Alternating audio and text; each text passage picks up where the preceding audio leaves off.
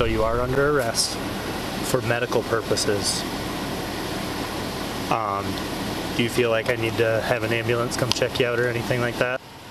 This is police body cam footage from August 2020, uh, 2022. A Utah driver died, that man there, after he was handcuffed. 46 year old Barry Young was pulled over for an equipment violation on his vehicle.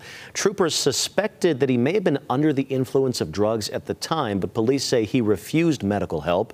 Medical reports suggested Young died from an overdose of cocaine. There was no use of force by the officer.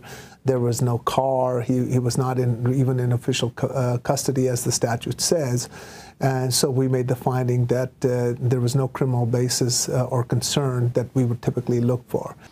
The Utah Highway Patrol invoked what's called an officer involved critical incident investigation. They did that out of an abundance of caution.